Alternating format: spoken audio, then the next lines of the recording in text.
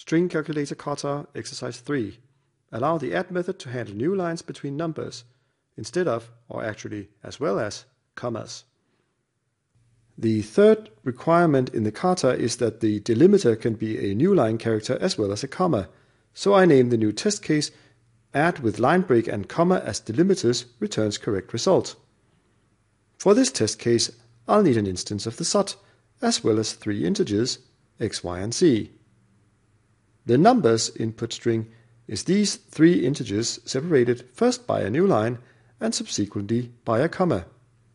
The actual value is the result of invoking add on the sut.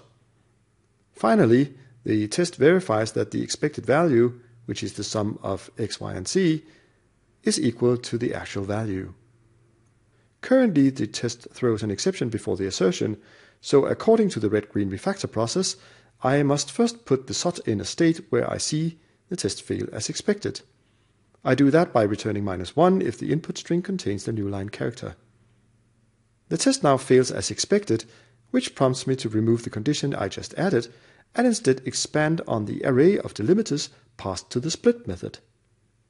All tests now pass.